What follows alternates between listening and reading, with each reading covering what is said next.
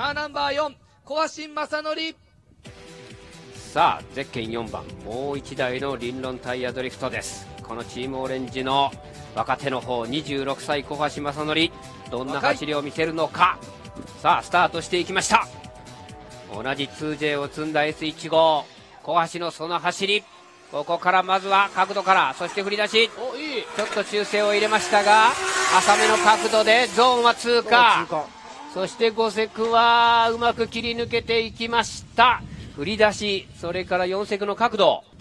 さあ97点台。もうすでに出ている小橋正則。どうでしょうか？26歳。若手の1人。20代は今回4人いるか4な人。はい。その中の1人で小橋が2本目。入ってきた。こっから返す。手前から行ったぞ。1回戻し気味にしてそして振り出していく。さあどうでしょう？まずまず